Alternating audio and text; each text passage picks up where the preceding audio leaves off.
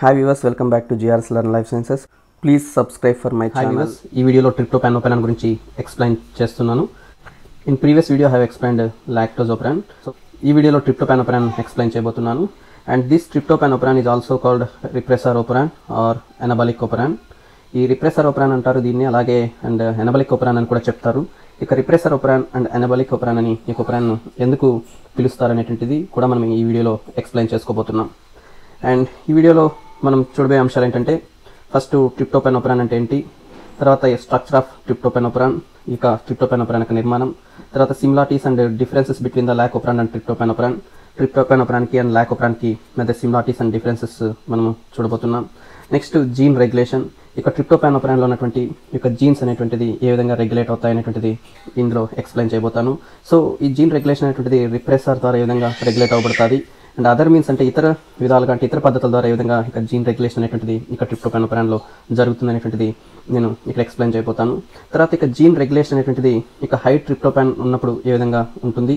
అలాగే లో ట్రిప్టోపాన్ ఉన్నప్పుడు బ్యాక్టీరియాలో ఏ విధంగా ఇక ట్రిప్టోపాన్ జీన్స్ అనేటువంటిది ఎక్స్ప్రెషన్ వాటికి జీన్స్ యొక్క రెగ్యులేషన్ అనేటువంటిది జరుగుతుంది అనేది ఈ వీడియోలో నేను ఎక్స్ప్లెయిన్ చేయబోతున్నాను. First what is tryptophan operon అనేది చూద్దాం. సో ఒపరాన్ అంటే ఒక సెట్ ఆఫ్ జీన్స్ అనేటువంటి ఉంటాయి. ఈ సెట్ ఆఫ్ జీన్స్కి ఒక సింగిల్ ప్రమోటర్ అనేటువంటిది ఉంటుంది అండ్ ఒక సింగిల్ ఆపరేటర్ రీజన్ అనేటువంటిది ఉంటుంది. అంటే ఒక single promoter and single operator చేత ఒక సెట్ ఆఫ్ జీన్స్ అనేటువంటివి రెగ్యులేట్ అవుతూ ఉంటాయి. ఇక సెట్ ఆఫ్ జీన్స్ అన్నీ కూడా ఒకే మెటబాలిజంలో ఇన్వాల్వ్ అయ్యే జీన్స్ అయి ఉంటాయి.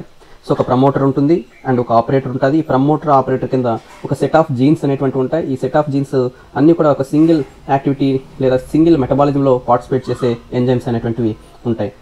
అలాగే ప్రమోటర్ అండ్ ఆపరేటర్ రీజన్ ఉన్నటువంటి ఈ రీజన్ని మనము కంట్రోల్ ఎలిమెంట్స్ రీజన్ అంటాం. అలాగే సెట్ ఆఫ్ జీన్స్ ఉన్న ఈ రీజన్ని స్ట్రక్చరల్ జీన్స్ ఏరియా అని చెప్పి చెప్తాం. సో ఇక్కడ స్ట్రక్చరల్ జీన్స్ ఏరియా ఒకటి ఉంటుంది. అలాగే కంట్రోల్ ఎలిమెంట్స్ ఉన్నటువంటి ఏరియా ఉంటుంది. కంట్రోల్ ఎలిమెంట్స్లో ఒక ప్రమోటర్ ఉంటుంది ఆపరేటర్ ఉంటుంది.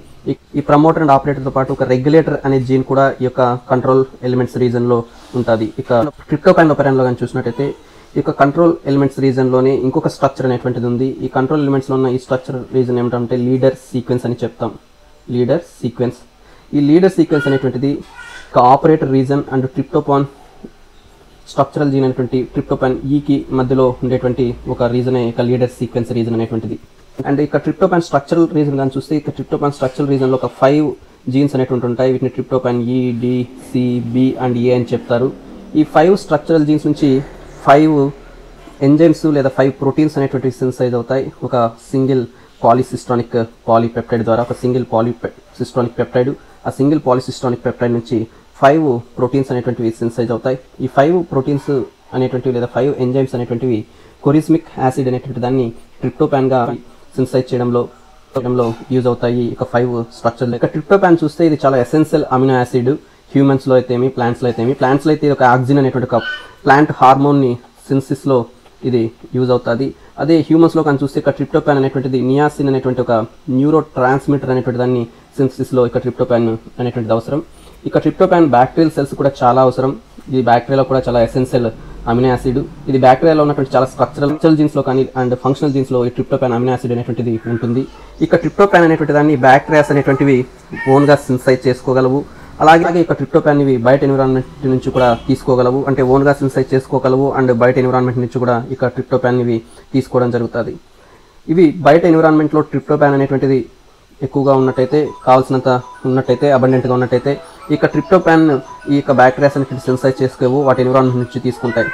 అలాగే ఎప్పుడైతే బ్యాక్టీరియాలో ఎన్విరాన్మెంట్లో యొక్క ట్రిప్టోపాన్ అనేటువంటిది లేకుంటే అప్పుడు బ్యాక్టీరియల్ సెల్ ఏం చేస్తుందంటే ఇక ట్రిప్టోపాన్ని ఇంటర్నల్గా సెన్సైజ్ చేసుకోవడం అనేటువంటిది జరుగుతుంది. సో ఇది ట్రిప్టోపాన్ ఉపరానికి సంబంధించినటువంటి స్ట్రక్చర్ ఈ ట్రిప్టోపాన్ ఉపరాన్ స్ట్రక్చర్లో చూస్తే ఒక కంట్రోల్ ఎలిమెంట్ రీజన్ ఉంటుంది. ఈ కంట్రోల్ ఎలిమెంట్ రీజన్లో ఒక రెగ్యులేటర్ జీన్ eh, ఉంటుంది. ఈ కంట్రోల్ ఎలిమెంట్స్ రీజన్లో ఒక రెగ్యులేటర్ జీన్ ఉంటుంది ప్రమోటర్ జీన్ ఉంటుంది ఆపరేటర్ జీన్ ఉంటుంది నెక్స్ట్ ఒక లీడర్ సీక్వెన్స్ అనేటువంటిది ఉంటుంది. ఇక ప్రమోటర్ అండ్ ఆపరేటర్ అనేటువంటివి ఇక ట్రిప్టోపాన్ ఒపరాన్లో ఓవర్లాప్ అయినటువంటి డిఎన్ఏ సీక్వెన్సెస్ ఇవి. తర్వాత ఇక స్ట్రక్చరల్ జీన్స్ అనేటువంటివి ఐదు ఉంటాయి ట్రిప్టోపాన్ ఈ డి అండ్ ఈ అనేటువంటిది. ఈ e, ఈడీసీబీఏ నుంచి ఐదు ఎంజైమ్స్ ఫామ్ అవుతాయి. ఈ ఐదు ఎంజైమ్స్ కూడా కొరిజ్మిక్ యాసిడ్ని ఈ ఐదు ఎంజైమ్స్ కూడా కొరిజ్మిక్ యాసిడ్ని ట్రిప్టోపాన్గా కన్వర్షన్ చేయడం జరుగుతుంది. బ్యాక్టీరియాస్ అనేటువంటివి ఇక ట్రిప్టోపాన్ని సిన్సైజ్ చేసుకోగలవు. ఇక ట్రిప్టోపాన్ ఉపరాన్ ద్వారా. అలాగే ఇవి బయట వాతావరణం నుంచి కూడా ట్రిప్టోపాన్ తీసుకోగలవు. బయట వాతావరణంలో ట్రిప్టోపాన్ ఉన్నప్పుడు ఈ బ్యాక్టీరియా అనేటువంటిది ఈ యొక్క ఉపరాన్ని స్విచ్ ఆఫ్ చేస్తుంది. ఎప్పుడైతే బయట వాతావరణంలో ఇక ట్రిప్టోపాన్ అనేటువంటిది అవైలబుల్ లేదో అప్పుడు బ్యాక్టీరియా అనేటువంటిది ఉపరాన్ని స్విచ్ ఆన్ చేయడం జరుగుతుంది. అయితే మనం ప్రీవియస్ వీడియోలో లాక్టోజ్ ఓపరాన్ కూడా డిస్కస్ చేసాం ఇక లాక్టోజ్ ఓపరాన్కి అండ్ ఇక్కడ ట్రిప్టోపాన్ ఓపరాన్కి ఉన్నటువంటి కొన్ని సిమిలారిటీస్ అండ్ డిఫరెన్సెస్ అనేటువంటిది మనం ఈ వీడియోలో చూద్దాం. See the similarities and differences between lac operon and tryptophan lac operon ట్రిప్టోపాన్కి differences అనేటువంటిది చూద్దాం. ఇక లాక్ ఓపరాన్ స్ట్రక్చర్ చూసినట్టయితే ఈ ల్యాక్ ఓపరాన్లో ఫస్ట్ మనకి ఒక రెగ్యులేటర్ జీన్ అనేటువంటిది ఉంటుంది. ఇక రెగ్యులేటర్ జీన్ తర్వాత ఒక ప్రమోటర్ జీన్ అనేటువంటిది ఉంటుంది.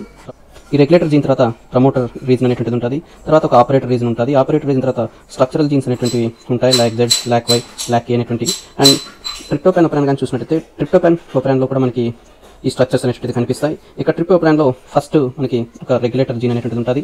రెగ్యులేటర్ జీన్ తర్వాత ప్రమోటర్ రీజన్ అనేటువంటిది ఉంటుంది. ఈ ప్రమోటర్ రీజన్ తర్వాత ఆపరేటర్ రీజన్ అనేటువంటిది ఉంటుంది. తర్వాత ఇక లీడర్ సీక్వెన్స్ అని చెప్పి ఒక సీక్వెన్స్ అనేటువంటిది ఆపరేటర్ రీజన్ తర్వాత ఉంటుంది. ఇక ఆపరేటర్ రీజన్ తర్వాత లీడర్ సీక్వెన్స్ లీడర్ సీక్వెన్స్ తర్వాత స్ట్రక్చరల్ జీన్స్ ఉంటాయి. ఇక్కడ ఐదు స్ట్రక్చరల్ జీన్స్ అనేటువంటివి ఉంటాయి ఇక ట్రిప్టోపాన్ ఓపరాన్లో ఇక ఐదు స్ట్రక్చరల్ జీన్స్ ఈ ఐదు స్ట్రక్చరల్ జీన్స్ని ట్రిప్టోపాన్ ఈ e, D C B and A అని చెప్పి చెప్తారు.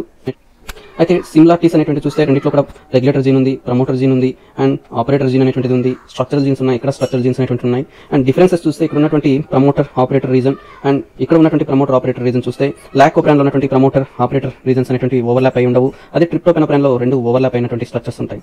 అలాగే ఇక్కడ ఆపరేటర్ అండ్ స్ట్రక్చర్ జీన్స్ మధ్య ఎలాంటి సీక్వెన్సెస్ అనేటువంటివి ఎలాంటి స్ట్రక్చర్స్ అనేటువంటి లేవు. అదే ట్రిప్టోపెన్ ఓపెరాన్లో కానీ చూసినట్టయితే ఆపరేటర్ అండ్ ఫస్ట్ స్ట్రక్చర్ జీన్స్కి మధ్య ఒక లీడర్ సీక్వెన్స్ అనేటువంటిది ఉంటుంది.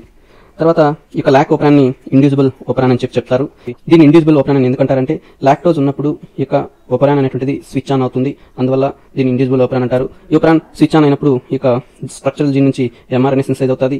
సిన్సైజ్ అనేటువంటి ఎంఆర్ఎన్ నుంచి ప్రోటీన్స్ అనేటువంటివి ఫామ్ అవుతాయి లేదా ఎంజైమ్స్ అనేటువంటివి ఫామ్ అవుతాయి.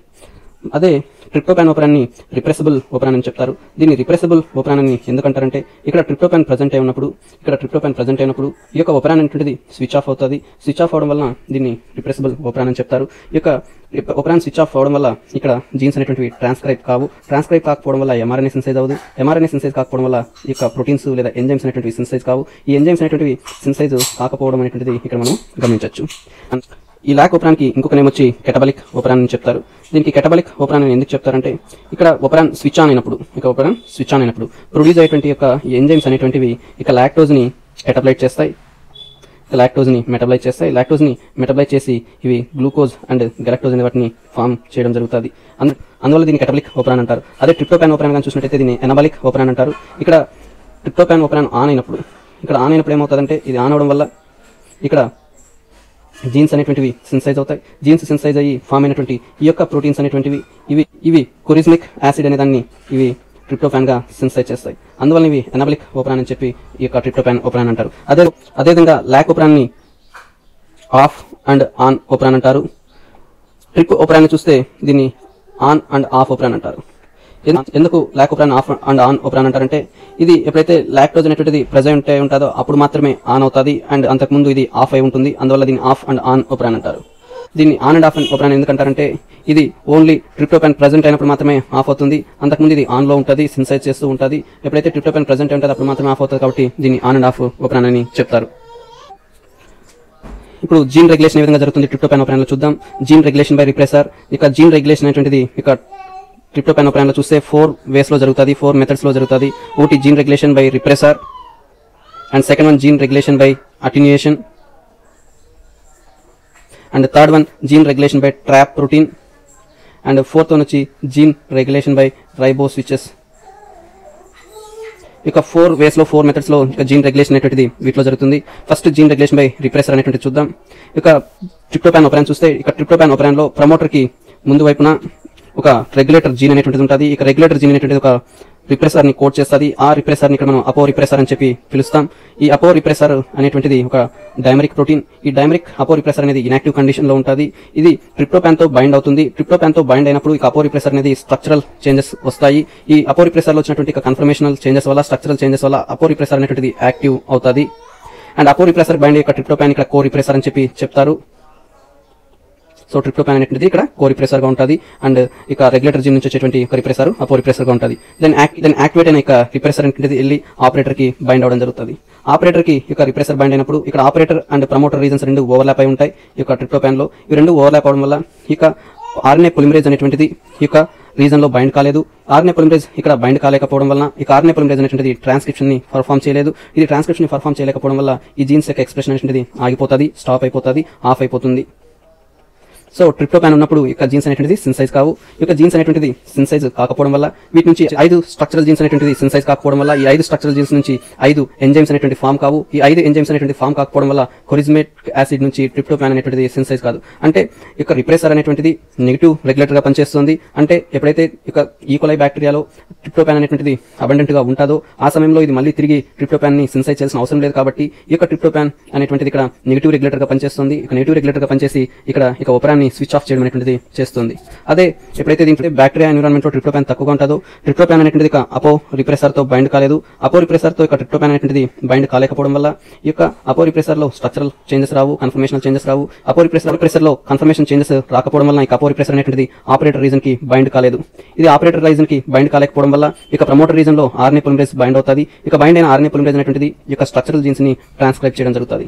అయితే ఈ విధంగా రిప్రెసర్ అనేటువంటిది ఈ యొక్క ట్రిప్టోపాన్ ఉపరాన్ని రెగ్యులేట్ చేస్తూ ఇక్కడ ఉన్న జీన్స్ ఎక్స్ప్రెషన్ని కంట్రోల్ చేస్తూ ఉంటుంది. అంటే ఎప్పుడైతే ట్రిప్టోపాన్ అనేటువంటిది ఉంటుందో ట్రిప్టోపాన్ అని ఉన్నప్పుడు ఈ యొక్క రిప్రెసర్ అనేటువంటిది యాక్టివ్ అవుతుంది. యాక్టివ్ అయ్యి జీన్స్ యొక్క ట్రాన్స్క్రిప్షన్ని ఆపివేస్తుంది. జీన్స్ యొక్క ట్రాన్స్క్రిప్షన్ ఆపివేయడం వల్ల ఈ జీన్స్ నుంచి వచ్చే ఎంజైమ్స్ సిన్సైజ్ కావు. ఈ జీన్స్ నుంచి వచ్చే ఎంజైమ్స్ సిన్సైజ్ కాకపోవడం వల్ల ఎక్స్ట్రా ట్రిప్టోపాన్ అనేటువంటిది సిన్సిస్ అనేటువంటిది ఇక్కడ జరగదు.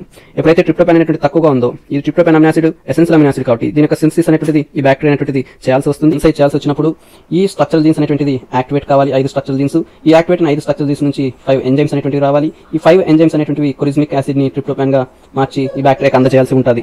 అయితే ఈ జీన్స్ అనేటువంటిది యాక్టివేట్ కాబడాలంటే ఇక్కడ ఆపరేటర్ రీజన్లో ఉన్నటువంటి ఇక రిప్రెసర్ అనేటువంటిది ఇక్కడ బైండ్ కాకూడదు. ఇక్కడ రిప్రెసర్ బైండ్ కాకూడదు అంటే రిప్రెసర్ అనేటువంటిది ఇనాక్టివ్ గానే ఉండాలి. ఇది యాక్టివ్ కాకూడదు. సో రిప్రెసర్ ఎప్పుడు ఇనాక్టివ్గా ఉంటుందంటే ట్రిప్టోపాన్ అనేటువంటిది లేనప్పుడు ఇది ఇనాక్టివ్గా ఉంటుంది. ఇక్కడ ట్రిప్టోపాన్ లేకపోవడం వల్ల ఈ అపో రిప్రెసర్ అనేటువంటిది కో రిప్రెసర్ అనేటువంటిది బైండ్ కాదు. అపో రిప్రెసర్ కో రిప్రెసర్తో బైండ్ కాకపోవడం వల్ల రిప్రెసర్ ఇనాక్టివ్ అయ్యి ఇక్కడ ఆపరేటర్ రీజన్కి బైండ్ కాలేదు. ఇది ఎప్పుడైతే ఆపరేటర్ రీజన్కి బైండ్ కాలేదో ఈ యొక్క అపో రిప్రెసర్ ఈ ప్రమోటర్ రీజన్లో ఆర్నే పొలిమరేజ్ బైండ్ అవుతుంది. ఈ ప్రమోటర్ రీజన్లో ఈ ప్రమోటర్ రీజన్లో బైండ్ అయిన ఆర్నే జీన్స్ యొక్క జీన్స్ యొక్క ట్రాన్స్క్రిప్షన్ ఇక్కడ ఇనిషియేట్ చేయడం జరుగుతుంది.